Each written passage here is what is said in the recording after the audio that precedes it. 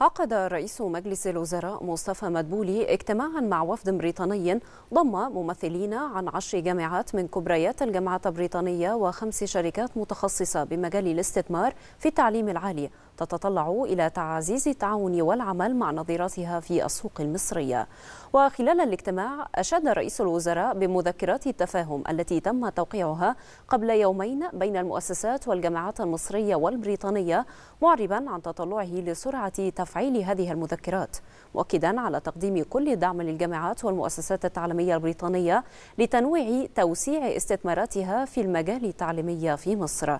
واختتم رئيس الوزراء الاجتماع بأنه سيكلف الوزراء والمسؤولين المعنيين بمتابعة هذا الأمر وعرض تطوراته عليه بصورة دورية خاصة أن الدولة تعمل حاليا على تشجيع القطاع الخاص.